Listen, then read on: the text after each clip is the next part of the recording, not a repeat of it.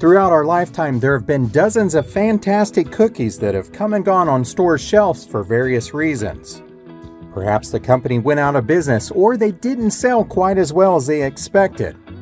Either way, it often leaves us disappointed.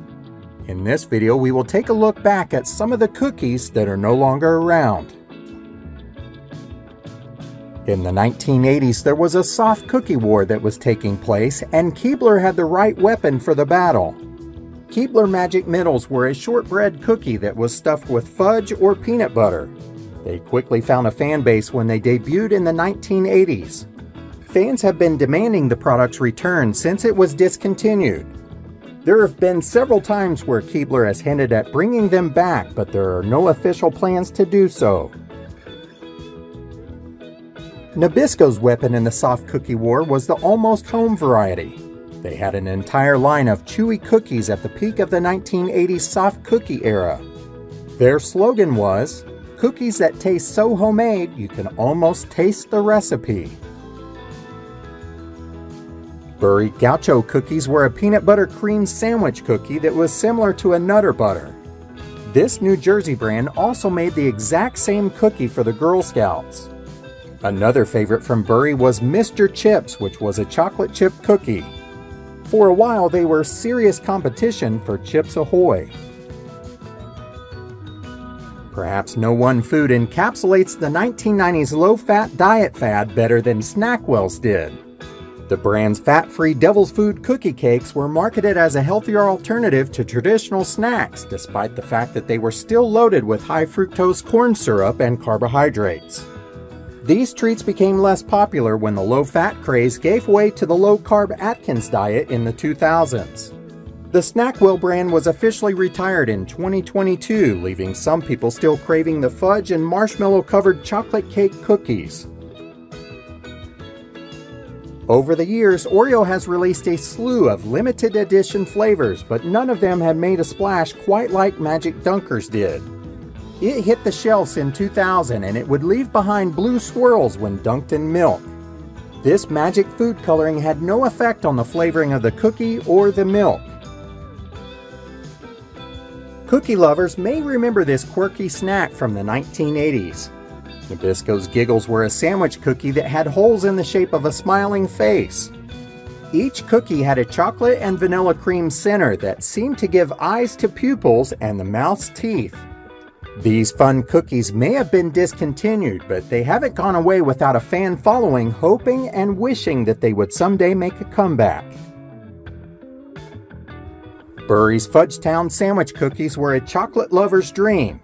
They had flower-shaped chocolate cookies with a fudge filling that overflowed through the hole on top. They were a hit in the 1960s and 70s, but they are no longer around. Dizzy Grizzlies became popular during the 1990s and they were the cool extreme sports loving older brother to Teddy Grahams. The cookie itself consisted of a bear-shaped graham cracker coated with chocolate and sprinkles on one side. The bears were depicted as skiing, skateboarding, and taking part in other athletic activities that were played up in the marketing. Ritz Bits S'mores sandwiches featured a chocolate and marshmallow flavored filling that was sandwiched between its classic buttery crackers. They really were more of a cookie rather than a cracker. These treats were discontinued in 2016, but they did make a brief return in 2022 as a giveaway. Sunshine Lemon Cookies were a delicate lemony cookie that was discontinued when the company merged with Keebler people have been seeking a copycat version ever since. Lunchables are pretty much an iconic lunchbox meal from the 1990s, and the cookies and frosting packs enjoyed the same success. These decorate your own cookie kits came with two cookies and sweet spreadable icing that you could smear yourself. They came in chocolate, s'mores, and more, but the blue sugar icing was the winner. Oreos are one of the most popular cookie brands in the store. They seem to make their way into countless dessert recipes, but even the chocolate sandwich cookie brand isn't immune to product cancelizations.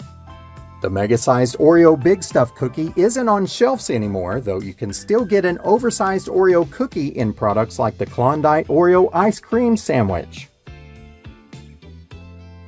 Yum Yums were a 1970s favorite that consisted of a sweet mix of coconut, chocolate, and caramel that was somewhat like a Girl Scout Samoa cookie.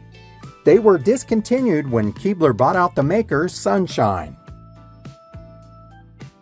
Planters came out with their own cookies in 1992 that were peanut shaped and had a peanut butter cream on the inside.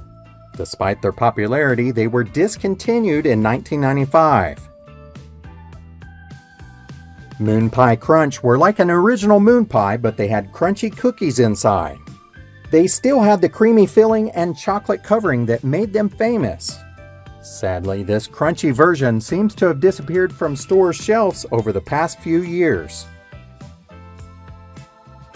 Star Wars cookies were made by Pepperidge Farm and they were similar to Teddy Grahams. They came in vanilla, chocolate, and even peanut butter.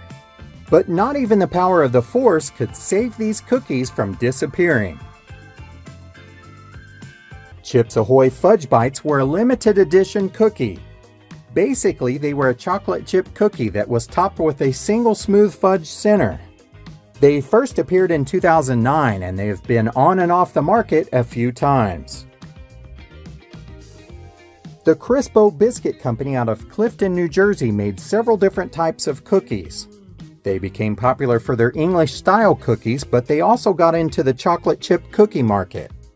These cookie varieties were quite a hit during the 1950s. Nabisco's famous chocolate wafers was another cookie that tons of fans had trouble parting with. They were popular to eat as a snack with your coffee or tea, but people also used them to make a crust for pies and cakes. This thin cookie was a favorite for those that needed a base for a chocolate mousse pie. Sadly, this cookie is no longer on the shelves. There are very few people around that don't know what an Oreo is, and over the years, many people have enjoyed them since they were first created in 1912.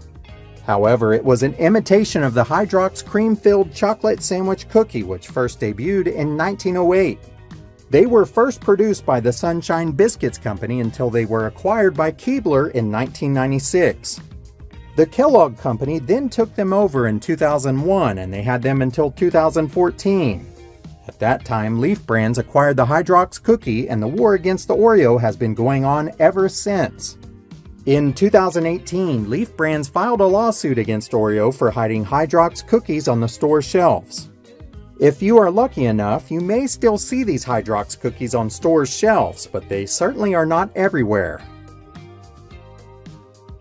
Cookies are certainly one of the sweeter things in life, and most of us enjoy having one from time to time but some of them are never coming back. So make sure you take time to enjoy your favorite store-bought cookie. You never know, it might be the last time you ever get to eat it. What was your favorite store-bought cookie?